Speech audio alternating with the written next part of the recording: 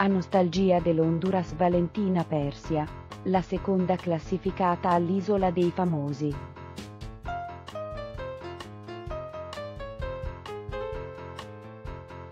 E anche se è tornata a casa, e il reality show si è concluso ormai da più di una settimana, tornare alla normalità, come per molti altri ex naufraghi, non è affatto semplice.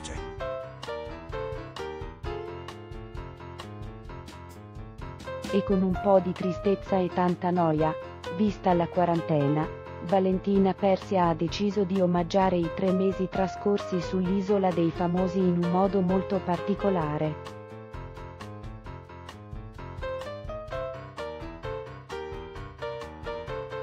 Cosa c'è di meglio di preparare un bel pranzetto a base di riso e cocco? Se vi viene da ridere, è giusto così.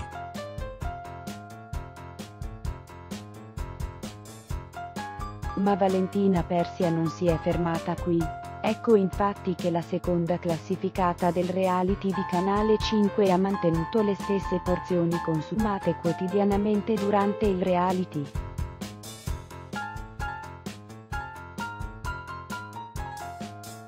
Nostalgia dell'isola, dice, mi sono ripromessa di mangiare così, cocco scottato con acqua di cocco e sale, fatto tostare e i classici 25 grammi di riso.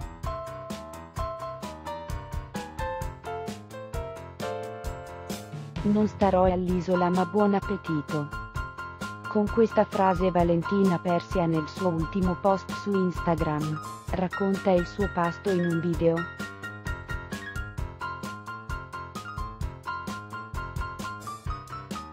Inutile dirvi che in tantissimi hanno commentato sotto al posto.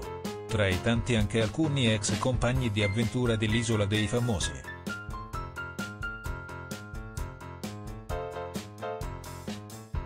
Tra i tanti anche Daniela Mattani ha deciso di dire la sua l'ex naufraga infatti, sconvolta dalla cena in stile Honduras dell'attrice comica, ha risposto, no dai,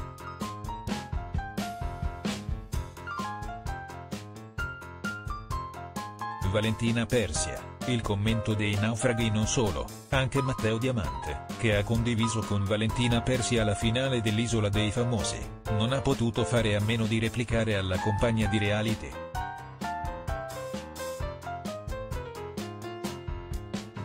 e anche l'ex protagonista della pupa e il secchione e viceversa, senza parole per il gesto di Valentina, si è limitato a postare una facetta triste.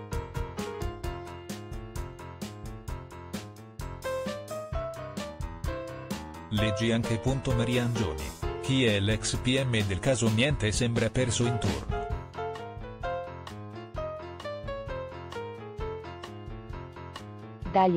Ha scritto sulle sue Instagram S ad inizio giornata. L'attrice, che di recente ha scritto un messaggio struggente sui social, al momento è ancora in quarantena dopo l'isola dei famosi e ha voluto darsi la carica postando le parole del brano Buongiorno di Alessandra Amoroso. Forza Valentina, però, casomai, mangia qualcosa di più sostanzioso.